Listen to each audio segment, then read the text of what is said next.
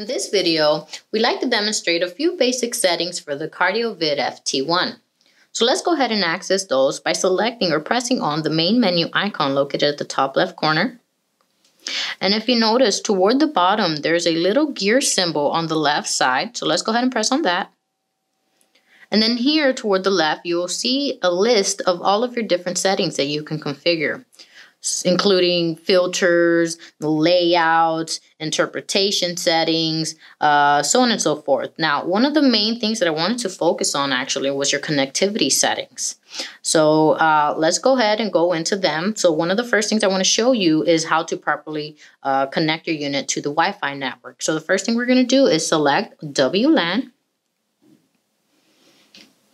Okay, and just to point out, right now we're not connected to nothing. So if you notice, this little symbol here with an X is letting you know that you're not connected to your Wi-Fi network at all. So here we'll actually be able to select what Wi-Fi network to uh, to put. So here on SSID, you'll press on the little drop-down button, and you have a list of all of the different Wi-Fi networks available.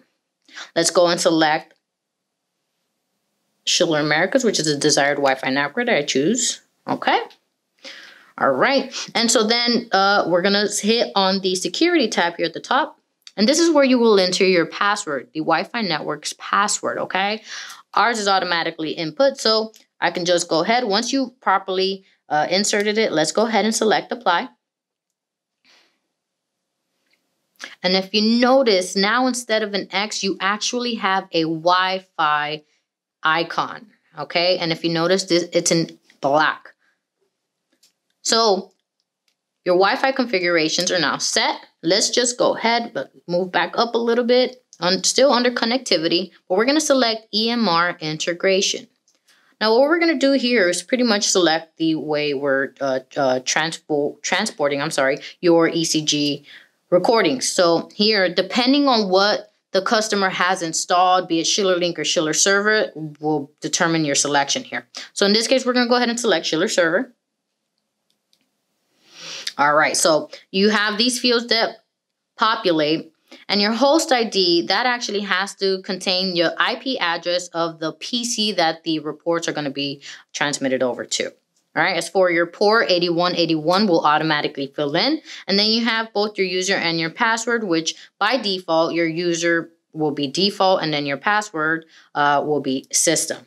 Now you can go ahead and test your connection. And you have now successfully connected to the server. Also, if you notice, your Wi-Fi icon is now green. It went from black to green, and green means that you are now connected both to the Wi Fi network as well as the server. All right, so let's go ahead and move down a little further to see a, couple different settings here. All right, and of course, you'll notice your uh, general settings, such as setting your time and your date, setting the language, the units that you're going to be measuring in, and if you keep scrolling down toward the bottom, you will find workflow. Now in workflow, you have a few options. So you have the ability to select whether or not you want your reports to transmit after saving. Okay, so they will automatically transmit over after the report is saved internally.